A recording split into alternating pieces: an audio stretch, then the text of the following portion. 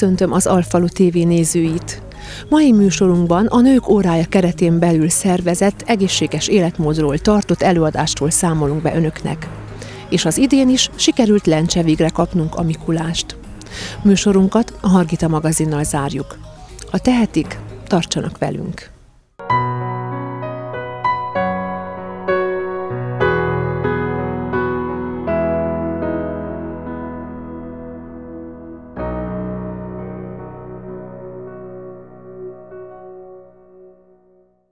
Idén három helyszínen találkoztunk a Mikulással. A parkba Hinton érkezett a központi óvodásokhoz. Borzonton pedig a Kolping Mikulás járta be Szekéren a falut, megajándékozott minden gyereket, akik cserében versekkel kedveskedtek. A Borzonti Hóvirág Panzió jóvoltából pedig Mikulásváró programot szerveztek a Gyergyóalfali és Borzonti óvodások számára. Összeállításunkat láthatják.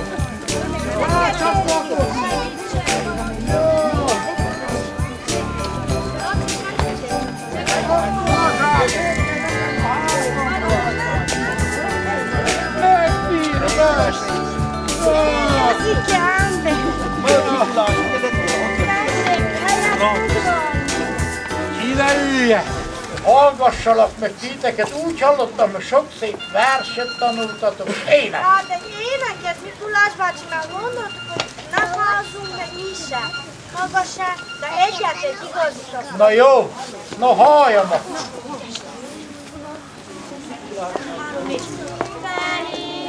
Kedves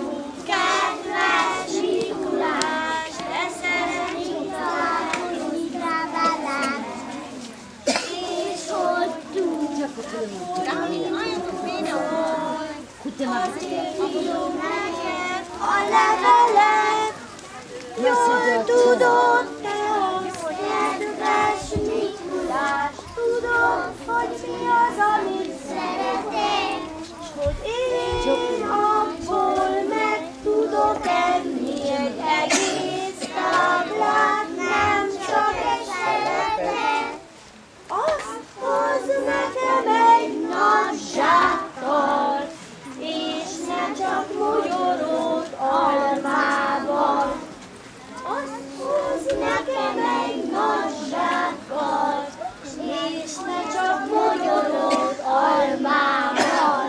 Jaj, de ügyesek voltatok!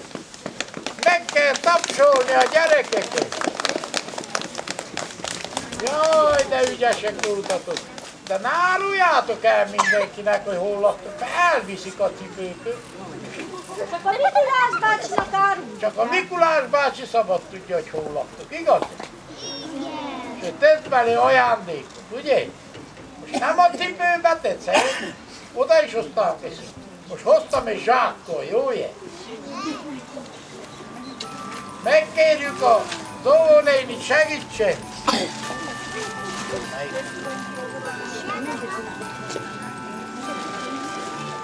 Mindenkihez el fogok menni szélre. Akik nem óvodások, azok jöjjenek. Jövőbe kik lesznek, gyere! Uh, hol vagy, Brigitta? Hol van Brigitta? Gyere Brigitta! Tedd el anyával, jó? Még nem hol van.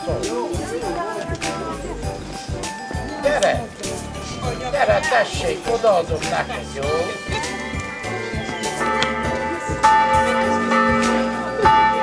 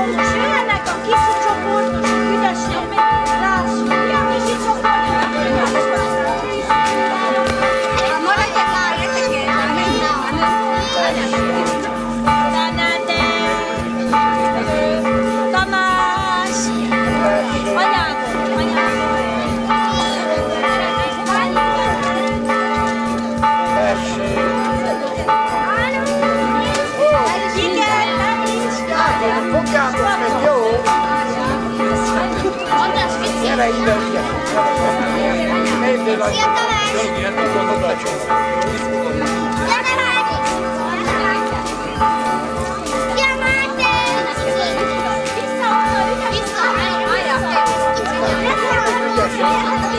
Na oda menne a Mikulás bácsi, csinálunk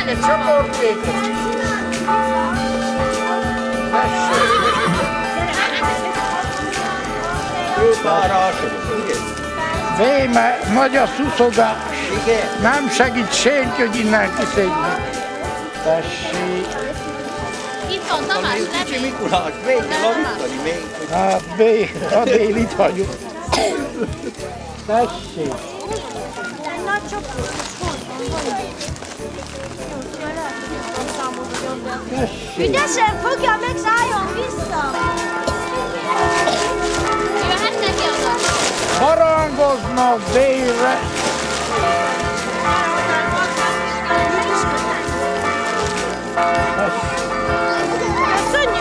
Szépen! de Köszönjük, vegyed el ügyesen anyát. Menjél vissza ügyesen reggel. Te kaptál egy Nem, Tamás. Hogy kell mondani? Ügyes.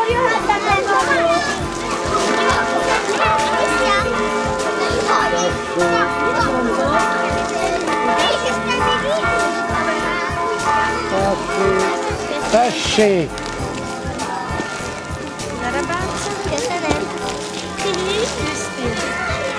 Még van-e? Nincs. Köszönjük szépen!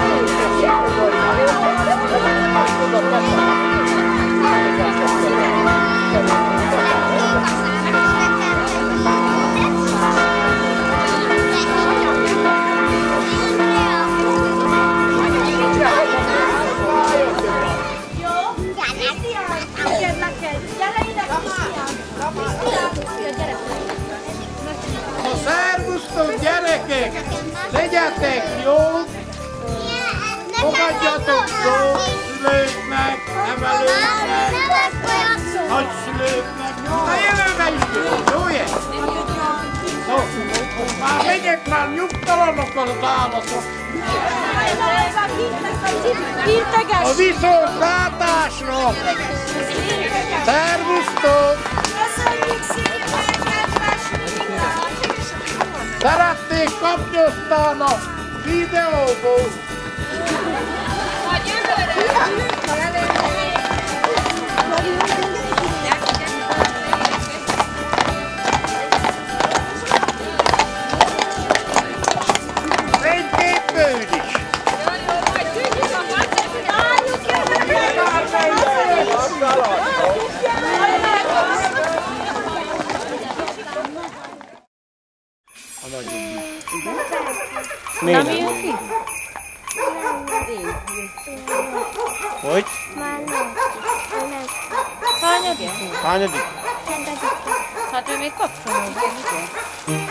Nem hívjátok ki? Na mondd meg nekem. Tessék, tessék, hozta Isten, jó gyermek, apad itten, a cukra elfogy egy perc alatt, a virgácsa mind megmarad. Ügyes vagy. De verset? Én Nem. Na nem. De.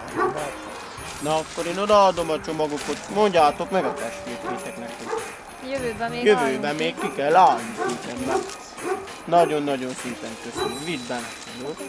Köszönöm szépen. Ügyesek legyetek. Szervusztok!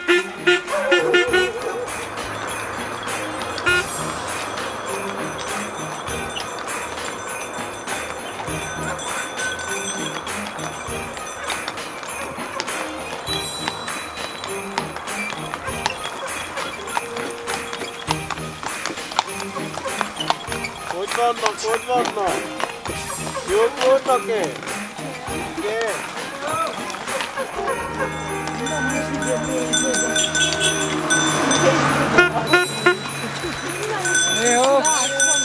Szervusztok. Hogy vagy? Fáztok-e? Verset tudtok?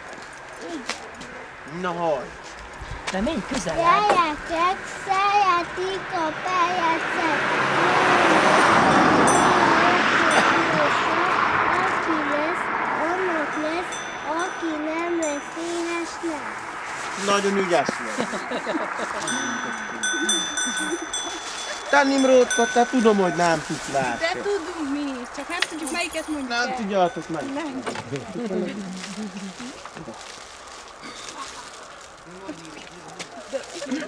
Akkor halljuk az anyukát. tőle verset. Nem, Majd elmondja az anyukája. Elmondja. Jó anyukát vagytok? Jó feleségek? Igen. Biztos? Na jó. Gyere, adjak neki egy nagy csomagot.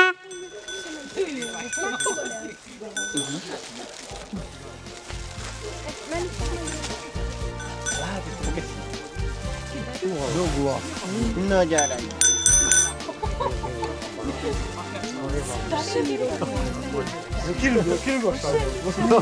Messze megy, messze megy a keresztény a Mikulásnak az eliba. Hol?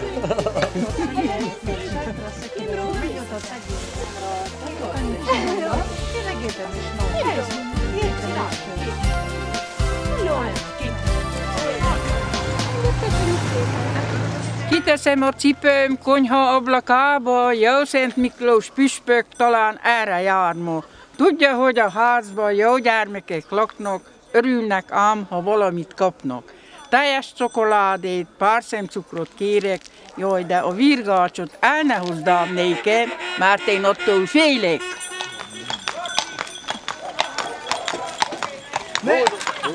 Nem, mámom!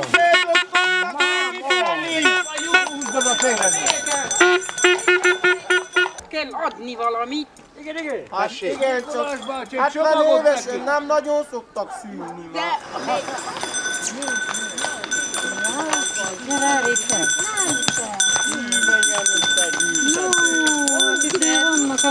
Szervusztok, hogy vagytok? Jaj. Verset tudtok-e? Éneket?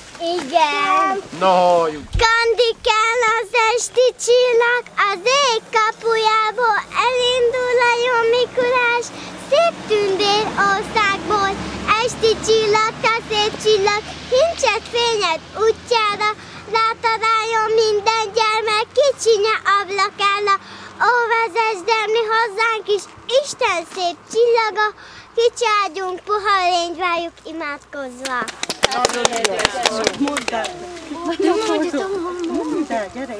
Na ne.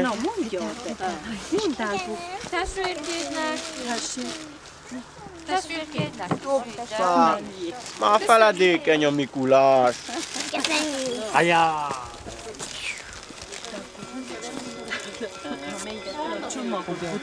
Meg Csomag legyen a kezébe, be.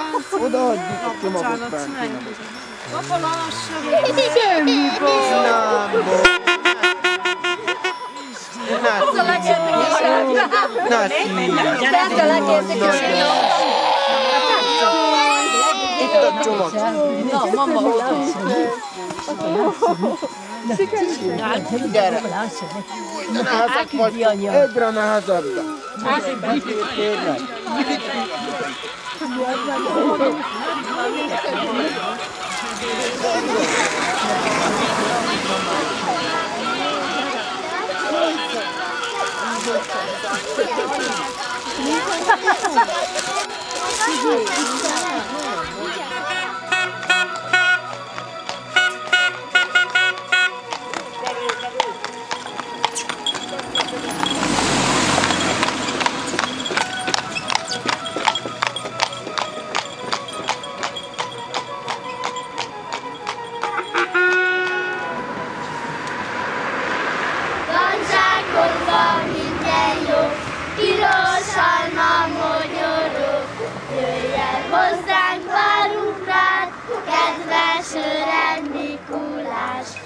Ügyesek vagy. Külön valaki verset, ha tud elmond. Tamás, mondd csak el. Pirosan ékezik a tényapú, szakája fúzai, cillok, miatt még vagyunk. Ügyes.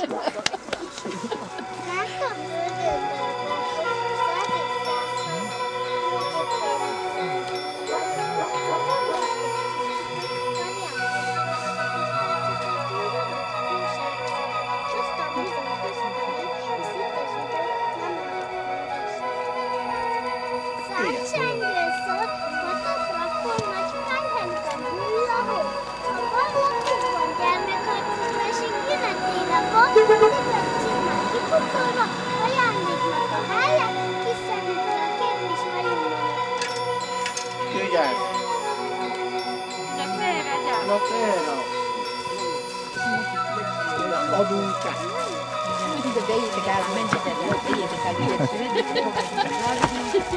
Jó, itt van Nedá. Alexandra, te hanyadik?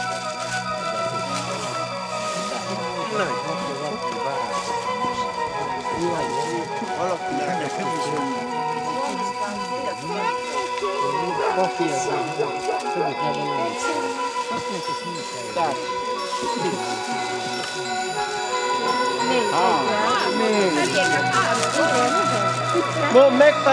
a Mikulás azt üzente, hogy egy jövőre kapcsolótetőt.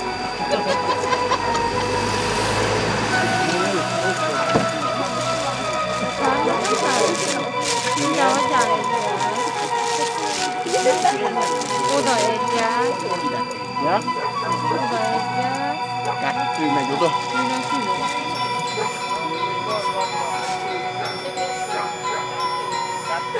Na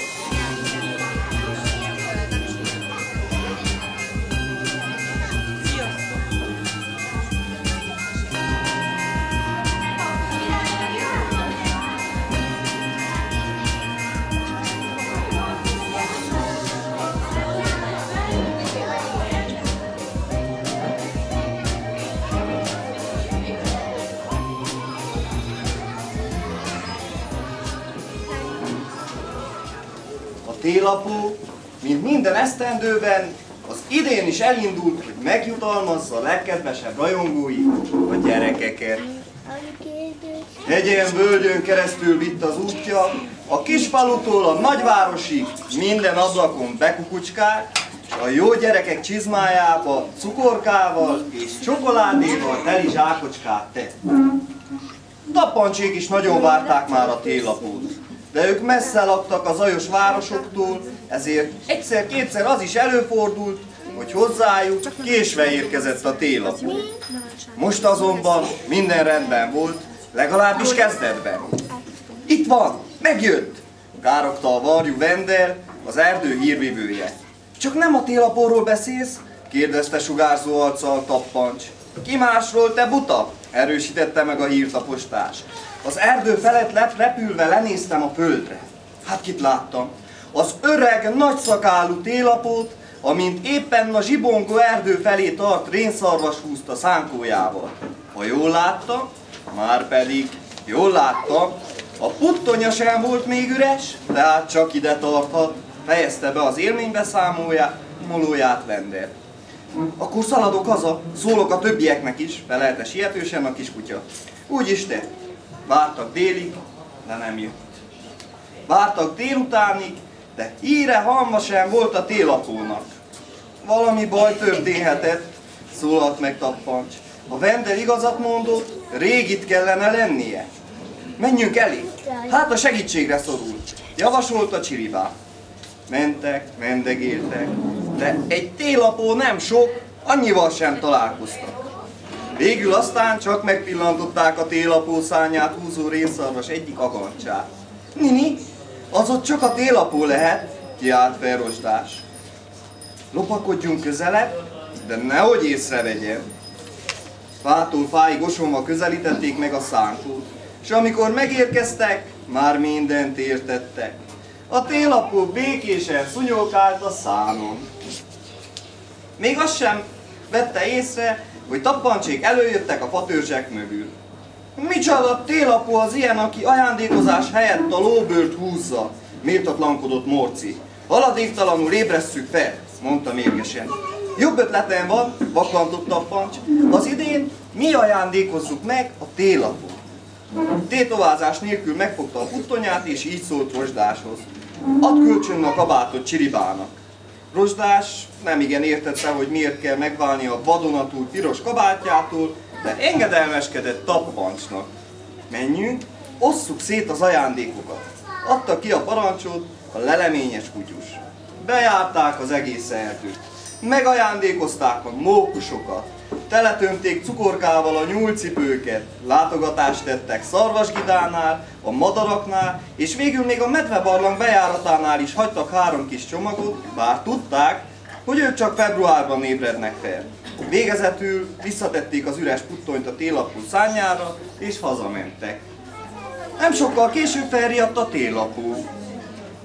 Fergeteg és teringették, csak nem aludtam el, mi lesz a zsibonga erdő lakóival, ha nem kapnak ajándékot? Gyorsan megnézte a puttonyát, ami csak úgy kongott az ürességtől.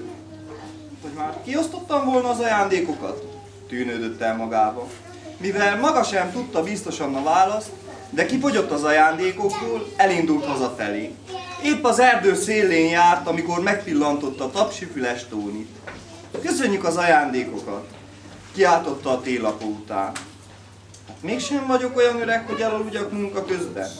Állapította meg magában a télapó, és vidáman nógatta tovább rénszarvasait. Akik, ugye mi is egy kicsit távolabb lakunk a várostól, azért küldte ezt a mesét a Mikulás, ezért késve jön. De jön, csak legyünk türelmesek. Mert minden jó gyerekhez a Mikulás minden évben eljön, és minden jó gyerek ugyanígy megajándékozhatja a Mikulás bácsit egy rajzzal, egy kedvességgel, vagy egy szófogadással. A történet címe Télapó bajba jut. Karácsony előtt Télapó útnak indul, hogy szerte a világon elvigye a gyermekeknek az ajándékokat. Éppen most érkezik Teszvesz város fölé, Fogd meg őrmester háza lesz az első állomása. Nagyon szép ajándékokat hoz kislányának Blökinek. Egyszer csak recs. Télapó tévesen méri fel a távolságot, s neki koppant a háztetőnek, és az egyik szántalpa darabokra tört. Mi ez a szörnyű lárma oda fent a tetőn? Kukkantott ki a rendőre, ágyából kiugorva. Félálomba felkapaszkodik a tetőre. Nem mindjárt felébred a törött szám mellett tébláboló télapó láttán. A kutyafáját, télapó. Hát most már te benne vagy a pácban. Én nem tudom megjavítani a szánodat, de már is indulok, és hozom neked ezermester venderet. Felpattant a motorjára, és úgy száguldott végig a városon, hogy a közlekedési lámpák szégyenünkben lesütötték a szemüket, és haragos zöldre váltottak. Még ilyen méltatlankodnak. Meg se már ez az ezermester házáig. Fittyethányba a csendrendeletre, hangos sugatással veri fel a házat. A mester álmosan kikászálódik a meleg dunyha alól, s már robognak is vissza. Ezermester Vendel azonban félig alszik még, amikor nekiállt a reparálásnak. Meg is látszott a munkáján. Sikeresen eltörte a másik szántalpat is. Jaj, te álomszuszik! Mérgelődött a télapó. A zenebona hatalmas Hilda szeméből is kiverte az álmot. Kíváncsian kukucskál az ablakon. S Fogne görmestertől megtudta, hogy mi történt. Már is megyek, segítek, és állja a szavát. Sílécekkel a vállán utat tört magának, a mély hóba, s már ott is volt az őrmester házánál. Persze azt mégsem kockáztathatta meg, hogy felmászik a ház tetőre, már csak a cserepe képsége miatt is. Tessék, télapó, a sílécekkel pótolhatod a szántalpakat. Én meg szívesen fölszegezem, ajánlkozik ezermester vendel. Jaj, nem, köszönöm, jobb, ha én teszem fel, hárítja el a két balkezes, a két balkezest télapó. A sílécek néhány perc múlva a szán alá kerültek, s télapó már viheti is az ajándékot a gyerekeknek. Mikulás, Mikulás,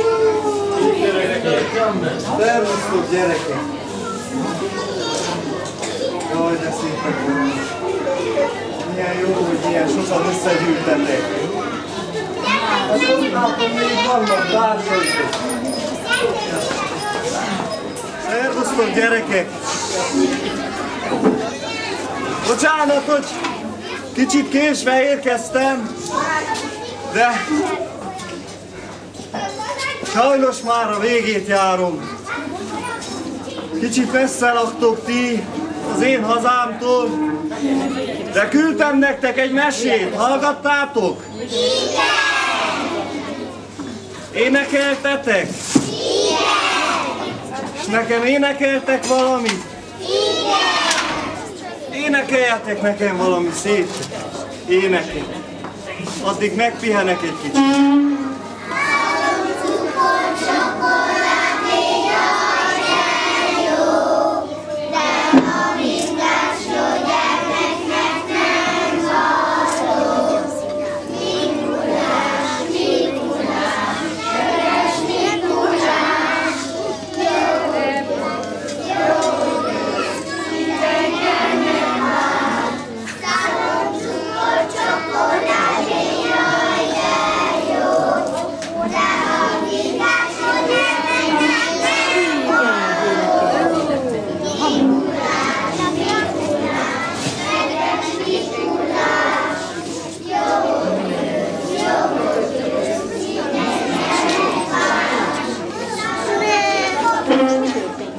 Mondasz nekem egy verset? Mikulás, hová bújsz, hová állsz, mennyi aranyat találsz a csomagba? Felhőből van a szakállam, széntöli meg a pipádat. Kokaprinc van a bután, rá. Azt hiszed, azt hiszed nem láttalak a jögény a fák alatt? Lopoztál egy nagy halut, dióval a hátadon. Minden este felviszik, csillagfény a homlok, olyan ember vagy te, csak pirosabb és nagyobb. Nagyon köszönöm. Gyere, adjak neked valamit.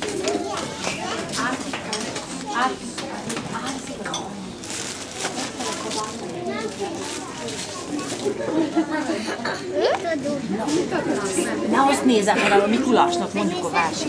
Jó, hangosan, jó? Gondol? Gondolt egyet féllapoka, levelek itt a friskóra. Fiúk, lányok, jók legyetek!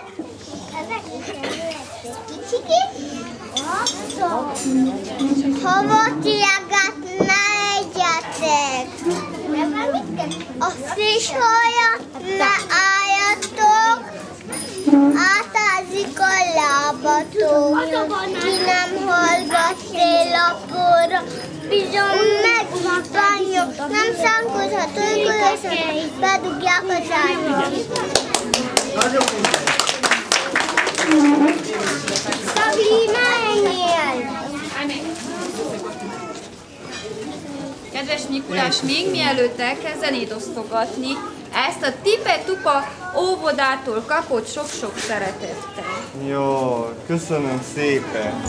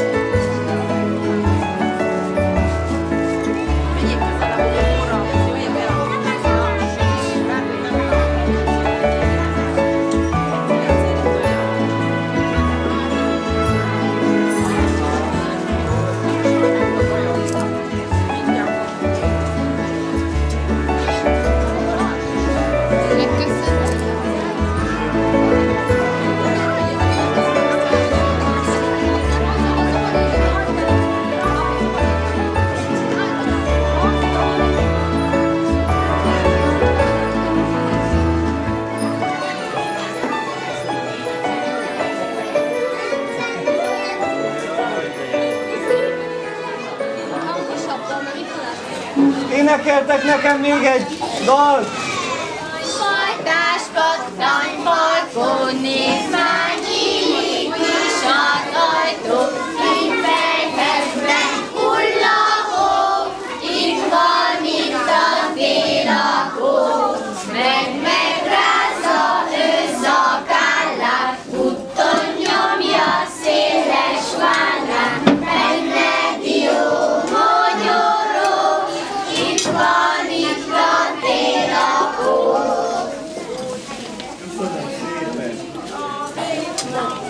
A porcúkorból volna nagy fehekben hullahó, itt van itt a télakó. Köszönöm szépen!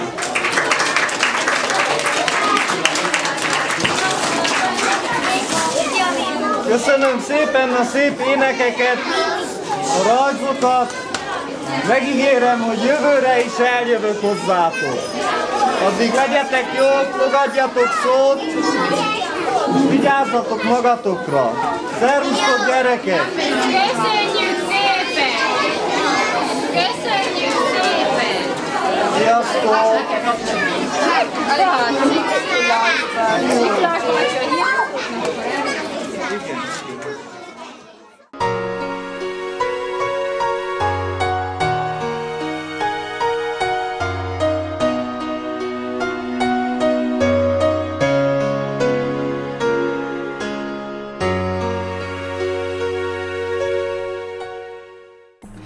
Hogyan táplálkozzunk egészségesen? Erre kerestük a válaszokat, és nagyon sok hasznos információt és tanácsot kaphattak mindazok, akik a múlt pénteken részt vettek a Nők órája keretén belül a Petőfi Sándor Művelődési Házban megszervezett előadáson. Ez alkalommal dr. Bartalis Hajnal, diabetológus szakorvos és Pécsi Kolumbán Imola, élelmiszeripari vegyész technológus volt a meghívott előadó. Dr. Bartalis Hajnal elmondta, hogy a 21. század egyik nagy egészségügyi problémája a cukorbetegség. A mozgásszegény életmód, ülő életforma idézi elő többnyire. A cukorbetegség szövődményei nagyban rontják az életminőséget. Felhívta a figyelmet a megelőzésre, és hogy évente egyszer végeztessünk teljes kivizsgálást. Pécsi Kolumbán Imola a helyes táplálkozásra hívta fel a figyelmet, betekintést nyerhettünk, hogyan étkezzünk egészségesen. Hangsúlyozta, hogy nem minden élelmiszer táplálék. Rávilágított a mozgás és a helyes légzés fontosságára is. Rövid összeállításunkat láthatják a következőkben. Tehát amellett, hogy élelmiszeripari vegyész technológus vagyok, ugye belátásom, bár ne, ne kerülhetett volna sor erre, de annyi tá- élelmiszernek a gyártásában nyertem betekintést és némi tapasztalatot, hogy terhes az élet. Mert egy dolgot jegyezzünk meg, vissza fogok leitmotivként, ez egy középiskolásnak készítettem, középiskolának ezt az anyagot, és nem tudtam átírni, látom most már nagy képernyőben van, de mert elhivatottságom az, hogy én Székelyudvarhelyen minden óvodába, minden iskolába elmegyek, és tartok egy kis előadást. Én önöknek úgy gondoltam, hogy a középiskolásoknak az anyagát fogom bemutatni, a, de hát a lényeg majd a beszéden van, és nyilvánvaló az együttműködő, a kollaboratív beszéden, mert tudom, hogy önöknek is nagyon sok tapasztalatuk van, és az az igazság, hogy az életben mindenki mindenkitől tanul. Én önöktől, önök tőlem, és ezért kerek a gombóc. Tehát az úgy történik, hogy egy dolgot jegyezzünk meg, és induljunk onnan ki, hogy nem minden élelmiszer táplálék. Na, gondolkozunk el rajta. Futassák meg az agyukba, hogy ki van írva élelmiszerbolt, és akkor az élelmiszerboltban ott mindenféle fajta szer van, tisztító szer is többek közt, meg mit tudom én még milyen szerek. A lényeg az, hogy nem minden élelmiszer táplálék. A magyar nyelv az egy gyönyörű szép, explicit és számunkra, nyilvánvalóan mindannyiunk számára nagyon kedves, és nem tudjuk, hogy miért is kéne még kedvesebb legyen. Hát azért, mert olyan gyökerei vannak gondola, a magyar gondola, a, a szóba öntött gondolatoknak, ha csak elgondolkozunk rajta, hogy táplálék, mit is jelent, valami, ha valami táplál, akkor azt jelenti, hogy az fejleszt, az növeszt, ugye? Ha azt mondjuk, hogy ék, valami ékes, az akkor mit tesz? Szépít. Tehát nekünk táplálék, ékes táplálékaikat fogyasszunk. Ékes táplálékaink vannak. Üm, tulajdonképpen a táplálék azt az Isten adta. Hát meg kell dolgozunk érte, meg el kell vessük, meg be kell gyűjtsük, meg majd esetleg egy kicsit hőkezeljük, egy kicsit ezt azt csinálunk vele, de ha jól meggondoljunk, nem kéne semmit csinálnunk vele. Csak ahogy az Isten adta, úgy elfogyasszuk. És higgyék el, hogy akkor nem lenne cukorbetegség, nem a genetikai, amiről a doktornő beszélt, mert az úgy, ahogy mondja, sajnos a családunkban is, de remélem olyan ágon, hogy hozzám nem jön közel. Ez, ez örökletes dolog, nem lehet kikerülni. De valójában igaz, nagyon sok betegséget meg lehet előzni, de mivel tudjuk, hogy a más kárán mi sose tanulunk legtöbbször, akkor ha saját kárunkon tanuljunk legalább, és kerüljük el, vagy legalábbis, hogyha már bekövetkezett a baj, akkor próbáljuk azt kellőképpen kezelni. Én nem vagyok orvos, két gyermekem orvos, tehát úgy, úgy, úgy belehallok egy-egy dologba, meg nagyon sokat voltam beteg. Nem is tudom, a múltkor összezámoltam, 13 betegségem volt, 6 műtétem volt, amiből 3 nagy műtét, és mégis itt vagyok, és azért vagyok itt, mert megtanultam, hogy ha jött a baj, hát akkor, akkor fel kell venni a kesztyűt, és akkor harcolni kell érte, és meggondolni, hogy mit is tudunk tenni annak érdekében, hogy legalábbis tudjuk tartani tovább az iramot, vagy túl tudjunk lépni valamit. Arról van szó, hogyha evés utáni cukor 140-ig elfogadható nem cukorbeteg egyének, evés után két órával. Cukorbeteg egyénnél azért mindig azt szoktam mondani, hogy a 160 és a 180 a oda, ha beleférünk, azzal meg vagyok elégedve. Viszont uh, egészséges embernél az étgyomri, persze a természetes szénhidrátot vittünk be, és ez ettől függ, hogy a hasnyálmiri, hogy, hogy mennyi inzulin termel, hogy hogy tudja lebontani ezt a, uh, azt a nagy adat. És ezért ez egészséges is mértékkel fogyaszt.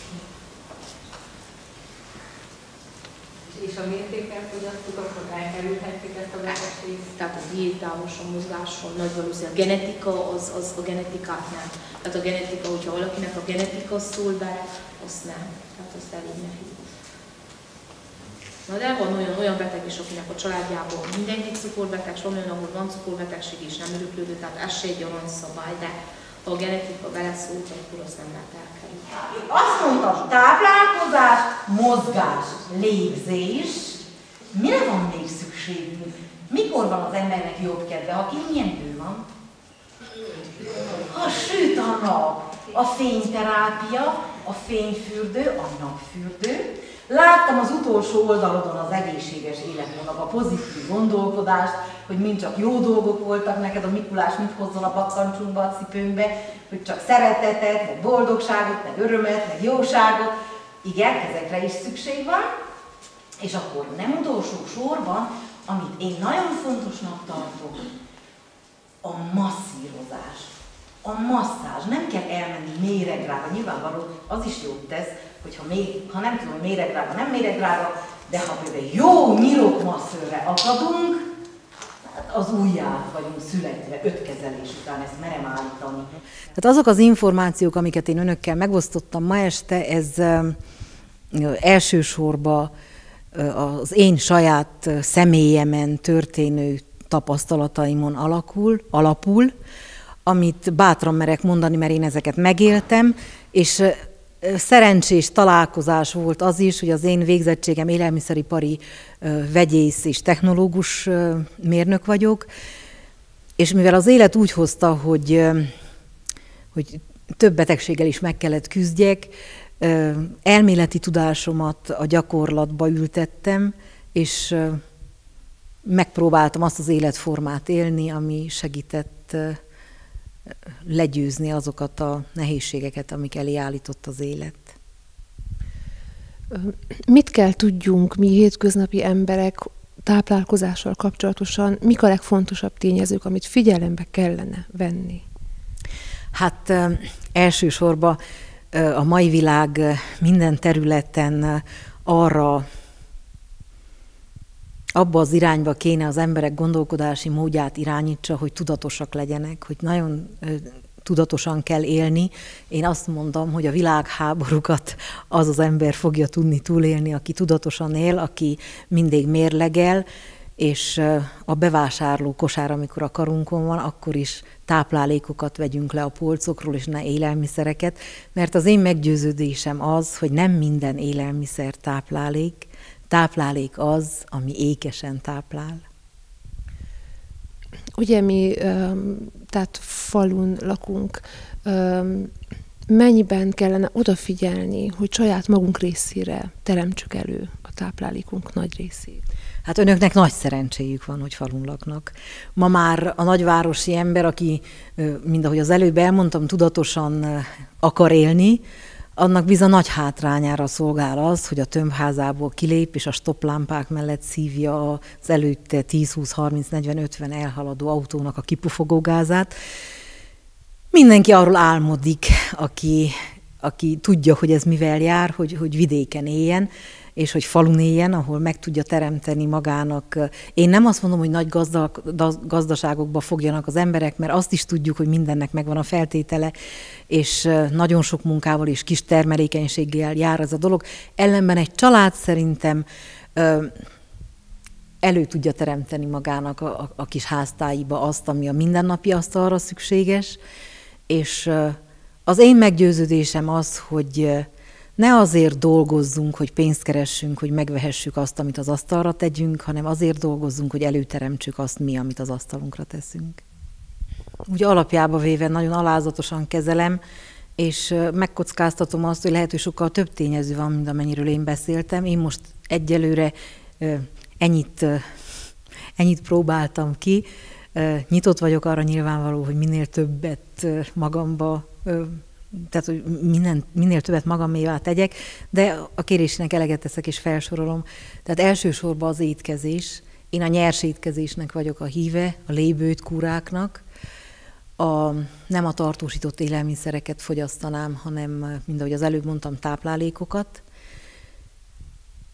Az táplálkozás fontosságával egy magasságba ér fel az egészséges légzés, Nyilvánvaló egészséges légzés csak egy nagyon egészséges és tiszta levegőn érdemes végezni, de hát amiért az Isten adott kinek, kit hova teremtett.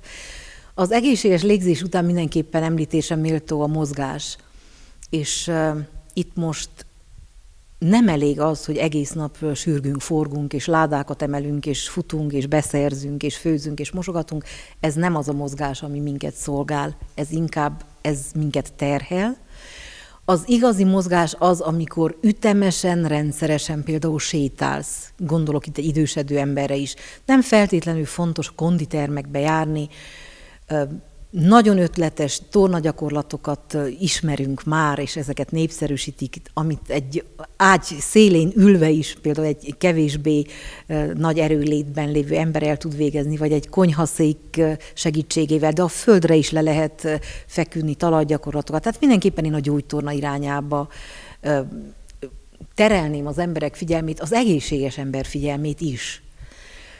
Tehát eddig beszéltünk a táplálkozásról, a légzésről, a mozgásról, a fény. Hát tudjuk, hogy fény nélkül nincs élet.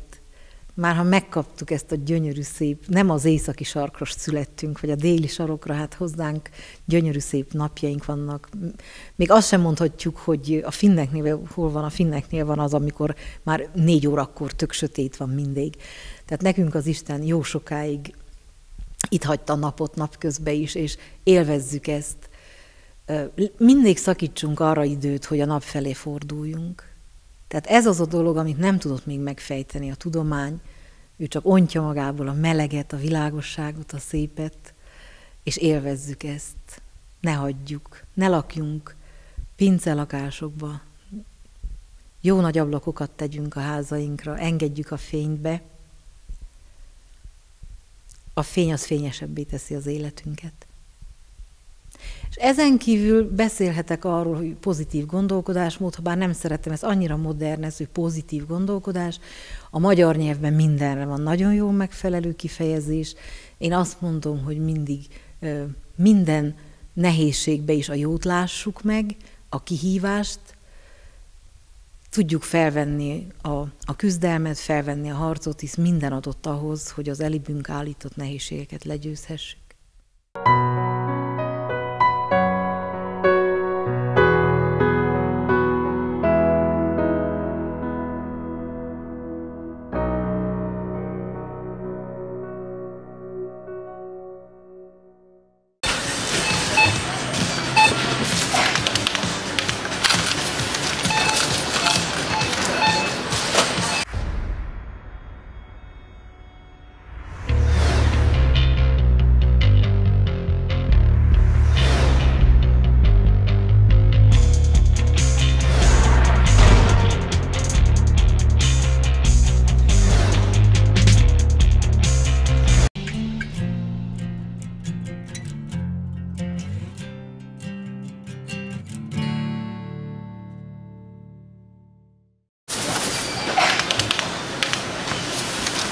Köszönöm megtisztelő figyelmüket magam és munkatársaim nevében. Várom Önöket egy hét múlva is a képernyők elé. Addig is műsorainkat visszanézhetik az interneten. Tartalmas hetet kívánok Önöknek. A viszontlátásra!